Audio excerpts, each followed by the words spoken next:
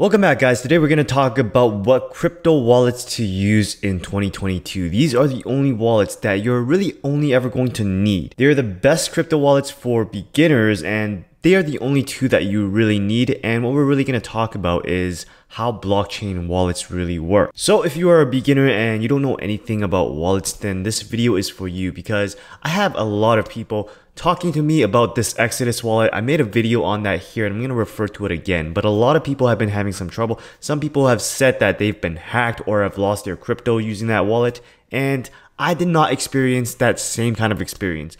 But today I'm going to talk about exchange wallets, hot wallets, cold wallets, and really the only two wallets that you're ever going to need and use. So without further ado, if you are new to this channel or you're a returning viewer and you haven't subscribed yet, then can you just do me this one favor. It's completely free, but please smash that like button and smash that subscribe button to help that YouTube algorithm. And now let's get into the video. So like I just said, there are really three different types of wallets, the exchange wallets, the hot wallets, and the cold wallets. The exchange ones are really, really dangerous. So if you're buying your cryptos on, let's say Coinbase, Binance, Kraken, FTX, or let's say Gemini, then you're leaving your cryptos at risk. So what you want to do is you want to keep your cryptos in a wallet that is not connected to the internet. That is, it's offline.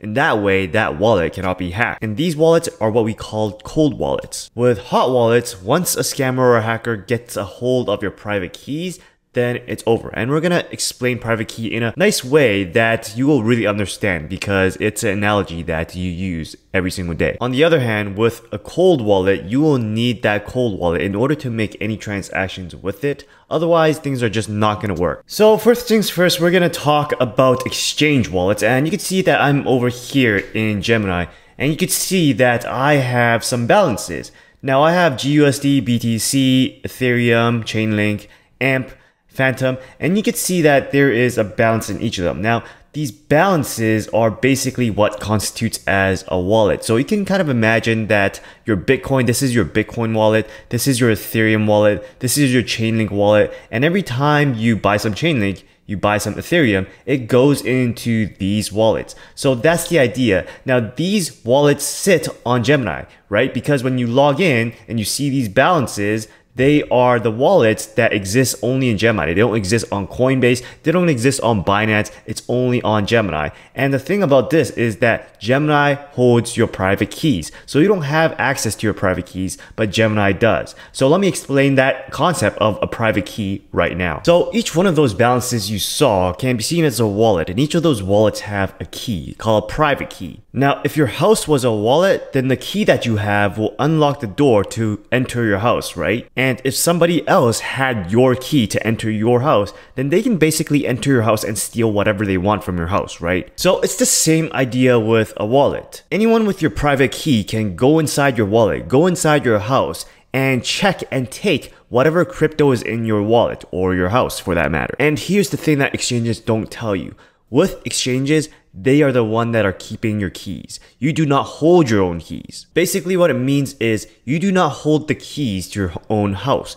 Coinbase, Binance, FTX, Gemini, they are the ones that holds the keys to your house. And if they say that we don't want you to enter your house, then that's too bad for you. You're locked out of your house. You can't get it back forever. Whatever is inside, it's FTX's, it's Coinbase's, it's Binance's now. You can't get it back. But that's okay, right? Let's imagine that we can really trust Coinbase, Binance, Gemini, or whatever to do what they are supposed to do, right? They're going to let you enter your house. But let's say that they are hacked by a hacker, right? And the hacker stole all the private keys. Now the hacker has access to all your cryptos. And now Gemini, Binance, whoever it is, they can't do anything about the hacker because they got all the private keys stolen by the hacker. So what do you do in that case? You can't do anything. The hacker has all your assets, all the money that you've ever put into crypto, all the trust that you put into Gemini to keep you safe is now gone. And that's the end of the story. Alright, so aside from exchange wallets, there are things called hot wallets. And one hot wallet is called the Exodus wallet, which you can check out here. I made a full video of it, so make sure you check out this video after this one.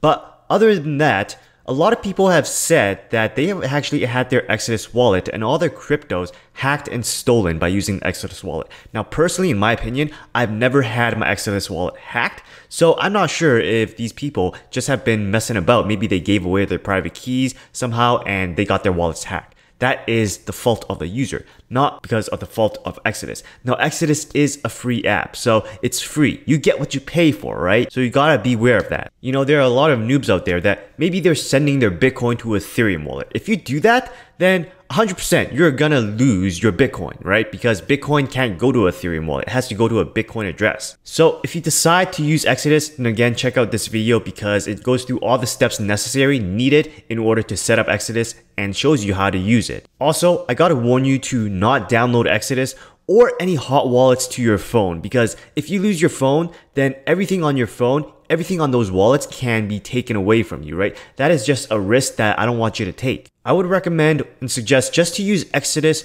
or another hot wallet like Trust Wallet only on your computer. Never download it on your phone.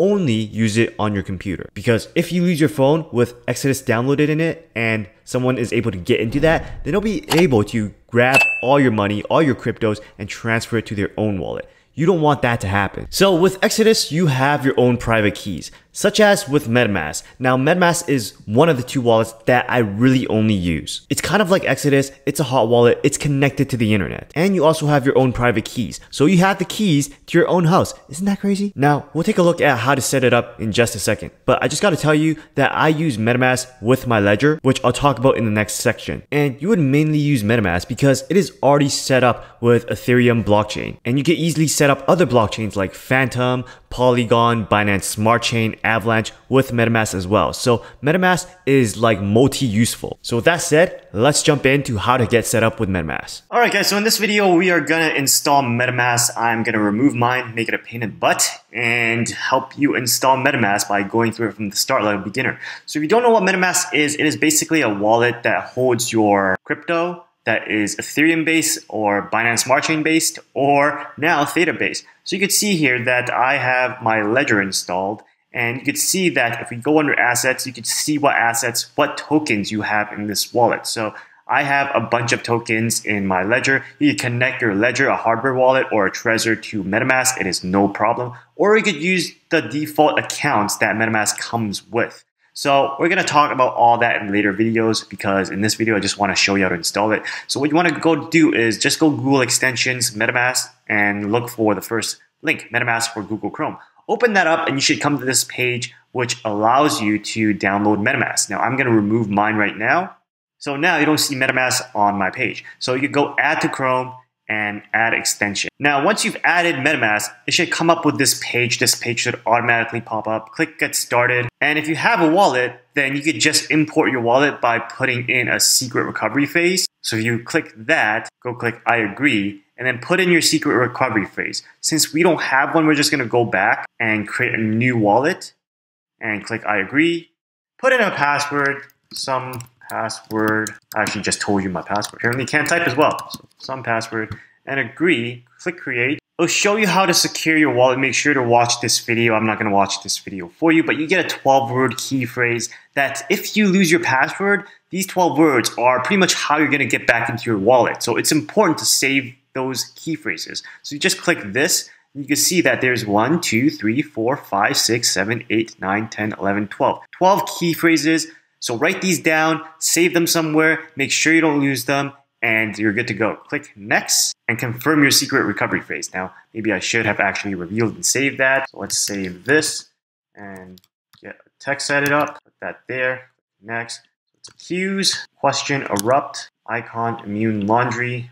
See my, my memory isn't that good. Spatial employee three. So after that, click confirm.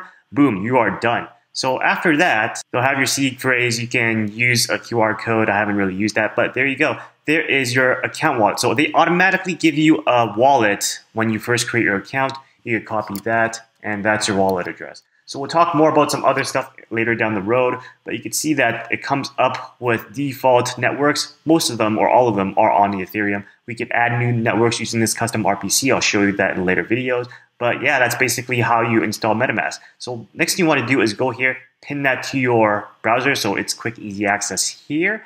And that's pretty much it. That's how you install MetaMask. So I hope you enjoyed that pre-recorded video of how to install MetaMask. There's one last thing I want to show you. This is my ledger that is connected to MetaMask. Now I'm not going to show you how to connect it with MetaMask in this video, but you can see that it says hardware here because Ledger is a hardware wallet. So you can connect your Ledger to MetaMask. It's easy. We're not going to show it here, but make sure to smash the like and subscribe button to get the notification on how to do that when I drop that video. But anyways, on account one, this is the account that came with MetaMask when I made this account. So you can go here and actually you can go over here to the three dots and click on account details and you click export private key. Now when you type in your password, once you type in your password that will show you your private key. You must never give that key to anyone because once they have that key, they will be able to get into your account and steal all the cryptos that you have in your account. I don't have much in here. I have 3.53 USD in Matic. So not much in here, but if I had what I had in my ledger, for example, then they would have gotten quite a bit of money or not a lot. I only have like 162 bucks in here. But anyways, that's MetaMask. One last thing I want to mention is that 99% of my portfolio is in my ledger. Some of the money in there is staked, so that's why I don't see it in the MetaMask there. But 1% of that is in that account zero that you saw where I had like $3.53. That is where I used to trade or make exchanges with decentralized applications like Uniswap and things like that. We're not going to talk about here, but that's just a ratio that I use to make sure that everything is safe because with the ledger that is connected to your MetaMask, the hacker will need your ledger in order to access the cryptos, the assets that you have in there. So that's just a safety precaution that I take. You don't have to take it if you don't want to, but I just want to share with you just to tell you what I do for myself. So the last thing I want to talk about is a ledger. Now this is a ledger. This is a cold wallet. A cold wallet means that it is not connected to the internet, which means that it is unhackable. The only way someone can actually get the cryptos in your ledger is if you give them your private keys or your secret phases, which is exactly kind of like the secret phases that we saw in MetaMask. Except for the ledger, it is 24 secret phases instead of just 12. Now, what I want you to do right now is go to any of my videos and go to the description and you should see some only hardware wallet I use, Shop Ledger. That is your link to your ledger. It's also somewhere in the pinned comment. There will always be a pinned comment with where you can get a ledger, the shopledger.com. You can use that referral link and that'll actually open up at the Ledger Nano X. Now, right now, this is $149. Now, you should get it right now because so far, Ledger Nano X or the Ledger company has been raising the prices for all their nano products. So the sooner you get it, the better because I'm not sure if this price is going to stay the same. So get it right now if you can. Use that link and basically the Nano X is the same one that I use, is the same one that I just showed you right now. So this little device here contains 99% of my portfolio. So if you can get this and my secret phases, then you can basically leave me penniless. But except for that 1%, that 1% is left on account zero for trading and stuff like that. Frequent activities such as exchanges that you use on Uniswap, but staking on the other hand, I connect my ledger to MetaMask and I do staking through that because if I wanted to unstake any of my coins or something or make anything that has something to do with my ledger, then I will need the actual device in order to make those transactions. If the hacker does not have your device, then they cannot take your coin, which is what's great about the ledger. So I'll probably make another video about how to connect this to MetaMask in another video because this video is getting long. So make sure to smash that like and subscribe button to get the notification of when that video drops if you want to do this, right? My recommendation is be sure to get your ledger from that link that I have in the description or the pinned comment and move 99% of your cryptos into your ledger because that will make it unhackable. So as I showed you guys on the site, this thing was like, what, $149. So I don't want you to see this as a cost but as an investment. Because let's imagine that you had $100,000 of cryptos and you just left it on exchange. If someone hacks it, hacks that exchange and takes your money, it's all over. But if you keep it in a ledger, this is unhackable. It will bulletproof you from all the hackers. So consider it as a security investment rather than a cost. It's been quite a long video guys, but I gave you some suggestions. MetaMask and Ledger is all I use and might be the same exact wallets that you want to use too. Other than that, I hope you got something from this video. I really felt like I needed to make this for all the beginners who are kind of confused about wallets. So I really hope it helped if you kind of fell in that category. But other than that, if this video served you a great deal of value, then please, can you help by smashing the like button, smashing the subscribe button, check out these other videos that I have here on cryptocurrencies and passive income. And remember guys, stay humble, stay patient, stay focused, and stay disciplined. See you next time.